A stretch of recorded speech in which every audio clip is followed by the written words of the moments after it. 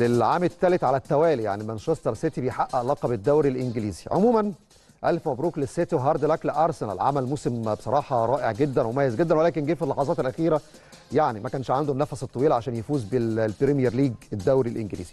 طيب مباريات اليوم.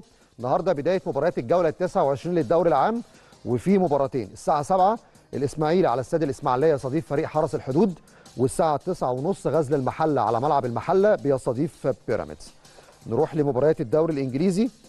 وفي هذه اللحظات في مباراة ما بين ويست هام يونايتد مع ليدز يونايتد والتعادل الإيجابي 1-1 واحد واحد.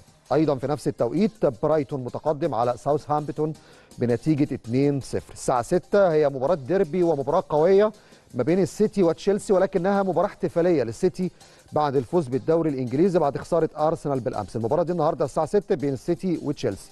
الدوري الأسباني ومباراة رايو فاليكانو مع إسبانيول وإسبانيول فاز 2-1 خمسة وربع أتلتيكو مدريد بيستضيف أوساسونا سبعة ونص فالنسيا بيستضيف ريال مدريد الساعة العاشرة من مساء اليوم اشبيلية بيستضيف ريال بيتيس. الدوري الإيطالي وانتهت مباراة ليتشي وسبيزيا بالتعادل السلبي 0-0 في هذه اللحظات في مباراة أيضا ما بين تورينو وفيورنتينا التعادل السلبي بين كلا الفريقين. الساعة السابعة من مساء اليوم أيضا نابولي بيستضيف إنتر ميلان والساعة العاشرة إلا ربع أودينيزي بيستضيف لاتسيو الإيطالي.